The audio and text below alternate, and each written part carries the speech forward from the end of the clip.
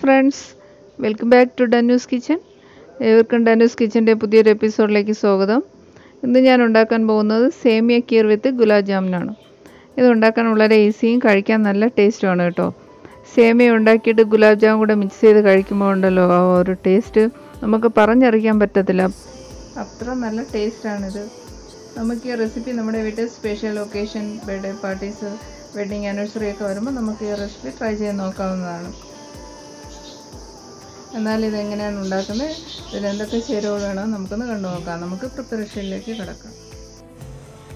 Friends അപ്പം നമുക്കിന്ന് സേമിയ കീർ വിത്ത് ഗുലാബ് ജാമാണ് ഉണ്ടാക്കാൻ പോകുന്നത്. അപ്പോൾ അതിനായി ഞാനിവിടെ ഒന്നര കപ്പ് ഷുഗർ എടുത്തിട്ടുണ്ട്. ഇത് ഇരുന്നൂറ്റി അമ്പത് എം എൽ കപ്പിന് ഒന്നര കപ്പ് അളന്ന് വെച്ചിട്ടുള്ളതാണ്.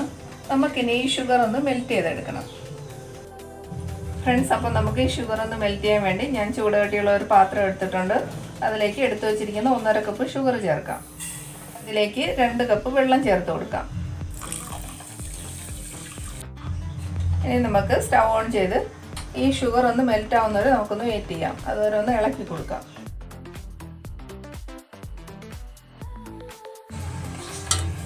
ഈ പഞ്ചസാരയിലേക്ക് നമുക്ക് മൂന്ന് ചതച്ച ഏലക്ക ചേർത്ത് കൊടുക്കാം. നല്ലൊരു ഫ്ലേവറിന് വേണ്ടിയിട്ടാണ് ഇത് ചേർക്കുന്നത്. നന്നായിട്ടൊന്ന് മിക്സ് ചെയ്ത് ഈ ഷുഗർ നന്നായിട്ട് മെൽറ്റാക്കി എടുക്കാം. ഫ്രണ്ട്സ് അപ്പം നമ്മുടെ ഷുഗർ സിറപ്പ് എല്ലാം നന്നായിട്ട് തിള വന്നിട്ടുണ്ട്. ഇനി നമുക്കൊരു ടെൻ മിനിറ്റ്സ് ഒന്ന് ബോയിൽ ചെയ്ത് എടുക്കാം.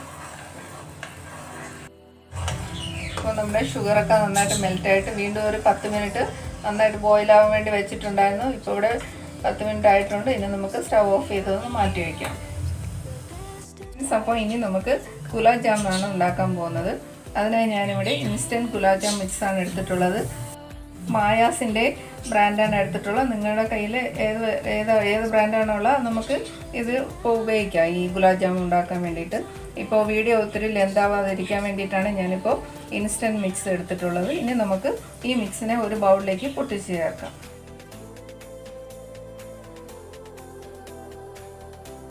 ഇനി നമുക്ക് ഈ മിക്സിലേക്ക് ഒരു ടീസ്പൂൺ നെയ്യ് ചേർത്ത് കൊടുക്കാം. നന്നായി ഒന്ന് കൈ കൊണ്ട് മിക്സ് ചെയ്തെടുക്കാം.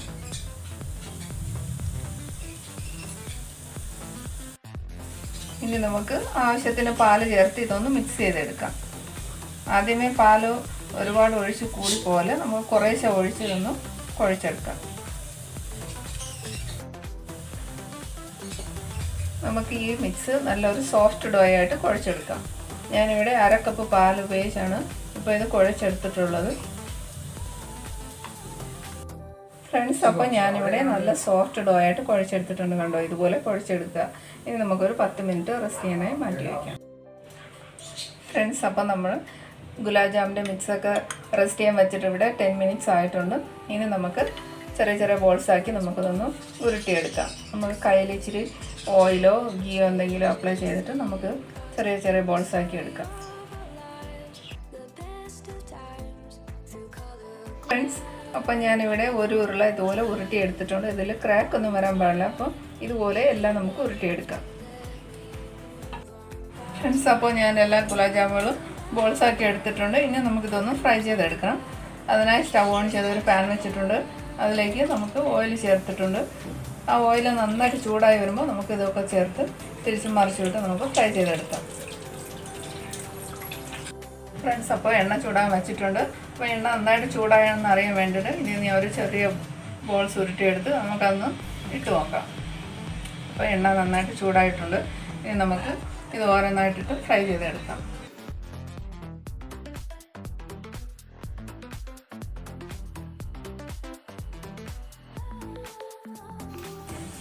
ഫ്രണ്ട്സ് അപ്പോൾ നമ്മുടെ ഫസ്റ്റ് ബാച്ച് ഗുലാബ് ജാം ഇവിടെ റെഡി ആയിട്ടുണ്ട്. നമുക്കിത് എണ്ണയിൽ നിന്ന് ടിഷ്യൂ പേപ്പറിലേക്ക് മാറ്റാം.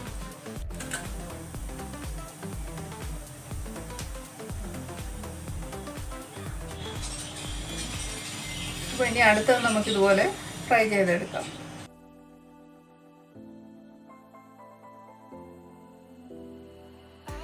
ഫ്രണ്ട്സ് നമുക്ക് തിരിച്ചും മറിച്ചും ഒന്നും ഇടണ്ട. ഇതുപോലെ സ്പൂൺ കൊണ്ട് ഇങ്ങനെ ചുറ്റിച്ചു കൊടുത്ത് ചുറ്റിച്ചു കൊടുത്ത് നമുക്കിതെല്ലാം ഗോൾഡൻ ബ്രൗൺ കളറാകുമ്പോൾ വറുത്ത് കോരിയെടുക്കാം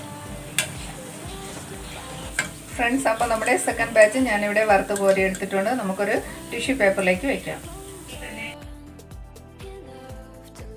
ഫ്രണ്ട്സ് അപ്പം നമ്മളിപ്പോൾ ഉണ്ടാക്കി വെച്ച ഗുലാബ് ജാം എല്ലാം നമുക്ക് നേരത്തെ നമ്മൾ ഷുഗർ സിറപ്പ് ഉണ്ടാക്കി മാറ്റി വെച്ചിട്ടുണ്ടായിരുന്നല്ലോ. അതിലേക്ക് നമുക്ക് എല്ലാം ചേർത്ത് കൊടുക്കാം. എന്ത് ഭംഗിയല്ലേ ഈ ഗുലാബ് ജാംസ് എല്ലാം കാണാൻ വേണ്ടിയിട്ട്.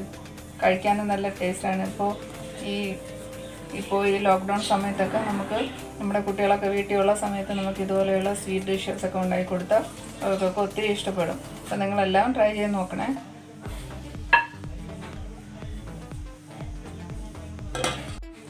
നമുക്കിത് ഒന്ന് അടച്ച് മാറ്റി വയ്ക്കാം. നമ്മളിന്ന് ഉണ്ടാക്കാൻ പോകുന്നത് സേമിയ കീർ വിത്ത് ഗുലാബ് ജാം ആണല്ലോ. അപ്പോൾ നമ്മളിപ്പോൾ ഗുലാബ് ജാമെല്ലാം ഉണ്ടാക്കി മാറ്റി വെച്ചിട്ടുണ്ട്.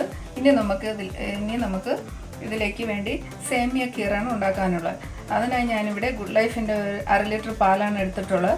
ഇത് നമുക്ക് ഒന്ന് തിളപ്പിച്ചെടുക്കണം. അതൊന്ന് ചെയ്യാം. പാലിവിടെ ഞാനൊരു പാത്രത്തിലേക്ക് മാറ്റിയിട്ടുണ്ട്. ഇത് നമുക്ക് തിളയ്ക്കാനായി എടുത്തു വയ്ക്കാം. സേമിയ കീറാണല്ലോ ഉണ്ടാക്കുന്നത് ഇന്നും. അപ്പോൾ അതിനായി ഞാനിവിടെ ഒരടുപ്പിലേക്ക് പാൽ തിളയ്ക്കാനായി വെച്ചിട്ടുണ്ട്. നമുക്ക് അടുത്ത അടുപ്പിലേക്ക് നമുക്ക് ഈ സേമിയ കീർ ഉണ്ടാക്കാൻ വേണ്ടിയിട്ട് ഞാനിവിടെ അര കപ്പ് സേമിയ എടുത്തിട്ടുണ്ട്. ഫ്രണ്ട്സ് അപ്പോൾ ഞാനിവിടെ കുറച്ച് ഡ്രൈ ഫ്രൂട്ട്സ് എടുത്തിട്ടുണ്ട്. കാഷ്യൂനട്ടും കുറച്ച് റേസൻസ് എടുത്തിട്ടുണ്ട്. നമുക്കിതിലേക്ക് ഒരു ടേബിൾ സ്പൂൺ എണ്ണ ഒരു പാനിലേക്ക് ചേർത്ത് ഇതൊന്ന് റോസ്റ്റ് ചെയ്തെടുക്കാം. അപ്പോൾ നമ്മുടെ പാൻ നന്നായിട്ട് ചൂടായിട്ടുണ്ട്. ഇതിലേക്ക് ഒരു ടേബിൾ സ്പൂൺ നെയ്യ് ചേർത്ത് കൊടുക്കുക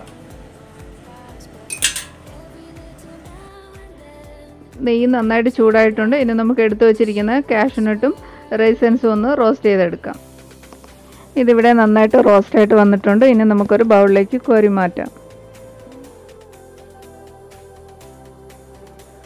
ഇനി നമുക്ക് ഈ നെയ്യിലേക്ക് ഞാനിവിടെ അരക്കപ്പ് വെർമസലി എടുത്തിട്ടുണ്ട്. അതൊന്ന് നമുക്ക് ഒന്ന് റോസ്റ്റ് ചെയ്തെടുക്കാം.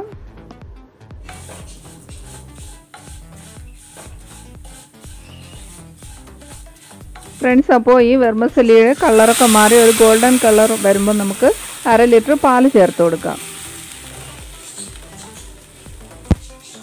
ഇനി നമുക്ക് പാൽ നന്നായിട്ട് തിളയ്ക്കുമ്പോൾ നമ്മൾ നേരത്തെ ഫ്രൈ ചെയ്ത് വെച്ചിരിക്കുന്ന റൈസൻസും കാഷ്നട്ടും ചേർത്ത് ഒരു പത്ത് മിനിറ്റ് വെർമസലി ഒന്ന് കുക്കാവുന്നവരെ നമുക്കൊന്ന് വെയിറ്റ് ചെയ്യാം. അതുവരെ ഇളക്കി കൊടുക്കാം.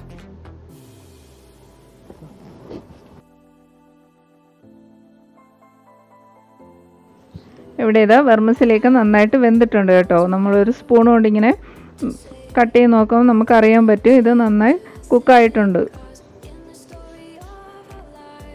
ഇനി നമുക്കിതിലേക്ക് കാൽ കപ്പ് പഞ്ചസാര ചേർത്ത് കൊടുക്കാം. പഞ്ചസാര നിങ്ങളുടെ ഇഷ്ടത്തിന് കൂട്ടുകയും കുറയ്ക്കുകയൊക്കെ ചെയ്യാൻ ഞാനിവിടെ കാൽ കപ്പാണ് ചേർത്ത് കൊടുക്കുന്നത്. നന്നായിട്ട് മിക്സ് ചെയ്യാം. എപ്പോഴും വെർമസലി നമ്മൾ വെർമസലി സേമിയ പായസമൊക്കെ ഉണ്ടാക്കുമ്പോൾ ഇത് നല്ല വെന്തിട്ട് വേണം നിങ്ങൾ പഞ്ചസാര ചേർക്കാൻ വേണ്ടിയിട്ട്. ഫ്രണ്ട്സ് അപ്പം നമ്മുടെ സേമിയ കീർ വിത്ത് ഗുലാബ് ജാമുൻ ഇവിടെ റെഡി ആയിട്ടുണ്ട്. ഇനി നമുക്കിത് ഫ്രിഡ്ജിൽ വെച്ചൊന്ന് തണുപ്പിച്ചെടുക്കാം. തണുത്തതിന് ശേഷം നമുക്കിതൊന്ന് സെർവ് ചെയ്യാം. ഫ്രണ്ട്സ് അപ്പോൾ ഈ റെസിപ്പി നിങ്ങൾ മറക്കാതെ ട്രൈ ചെയ്ത് നോക്കുക നിങ്ങൾക്ക് എല്ലാവർക്കും തീർച്ചയായിട്ടും ഇഷ്ടപ്പെടും. നിങ്ങൾ ഈ ഡിഷ് ട്രൈ ചെയ്തിട്ട് നിങ്ങളുടെ ഫീഡ്ബാക്ക് പറയാൻ മറക്കരുത്. കൂടാതെ കമന്റ് ബോക്സിൽ കമന്റ് ചെയ്യാനും മറക്കരുത് കേട്ടോ. ഈ വീഡിയോ ഇഷ്ടമായ ലൈക്ക് ചെയ്യാനും ഷെയർ ചെയ്യാനും മറക്കരുത്. ഇതുവരെ എന്റെ ചാനൽ സബ്സ്ക്രൈബ് ചെയ്യാത്തവർ ഒന്ന് സബ്സ്ക്രൈബ് ചെയ്ത് അതിൽ ഓൾ കൂടെ എനേബിൾ ചെയ്താൽ ഞാൻ ഇടുന്ന വീഡിയോസിന്റെ നോട്ടിഫിക്കേഷൻ നിങ്ങൾക്ക് ഉടനുടൻ ലഭിക്കുന്നതായിരിക്കും. ഇനി അടുത്ത എപ്പിസോഡിൽ മറ്റൊരു വീഡിയോയുമായി വീണ്ടും വരാം. Thank you thanks for watching